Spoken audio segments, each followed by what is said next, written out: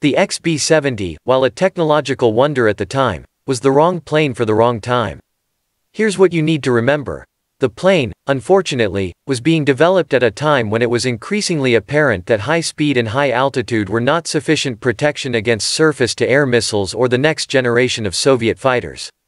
The North American XB-70 Valkyrie was the largest and fastest bomber ever built by the United States, but the massive six-engine Mach 3.0 capable jet never entered production. Only one surviving prototype sits in a museum in Dayton, Ohio, even as the Boeing B-52 it was supposed to one day replace continues to soldier on. The idea behind the XB-70 originated in the 1950s when it was assumed ever greater speeds and altitudes would enable American bombers to survive against Soviet air defenses unmolested on their way to delivering their doomsday payloads. At the time, the only effective defense against bombers were fighters and anti-aircraft artillery. Even then, anti-aircraft guns were only marginally effective and interceptors were increasingly challenged by ever-improving bomber performance. However, with the advent of surface-to-air missiles, SAM, that began to change, the balance started to tip in favor of the defender. While the U.S. Air Force was aware of Soviet advances in SAM technology, the Pentagon didn't start to understand the scope of the problem until Francis Gary Powers' Lockheed U-2 spy plane was shot down while overflying the Soviet Union on May 1, 1960. But development of the XB-70 continued nonetheless. With the growing realization that Soviet SAMs posed an increasing threat to American bombers, the Pentagon started to explore low-level penetration as an alternative. Low-level penetration involved flying under the radar horizon using terrain to mask a bomber's approach, which greatly reduces enemy response times.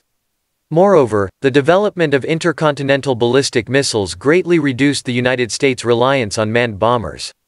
Many leading military strategists of the time believed bombers were too vulnerable to survive the journey into Soviet airspace. As a result, President John F. Kennedy decided to cancel the XB-70 as a frontline bomber program on March 28, 1961. Meanwhile, the XB-70 test program continued. The jet made its first flight on September 21, 1964, when it flew from Palmdale to Edwards Air Force Base, Calif. But the first XB-70 proved to be a disappointment.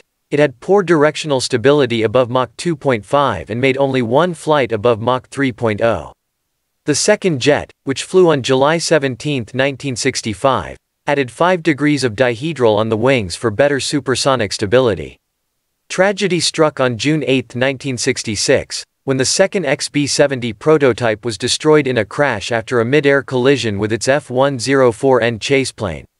Two people were killed and one was severely injured during the accident.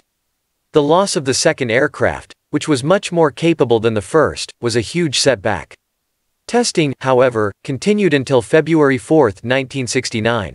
Ultimately, the first XB-70 logged 83 flights totaling 160 hours and 16 minutes, while the second XB-70 logged 46 flights totaling 92 hours and 22 minutes according to NASA.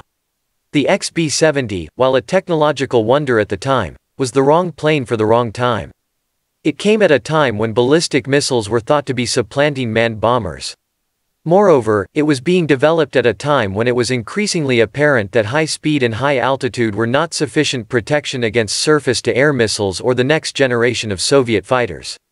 But the nail in the coffin was the jet's exorbitant price tag and lack of mission flexibility. The B-70 couldn't be adapted for the low-level role. Let's hope today's shadowy long-range strike bomber fares better.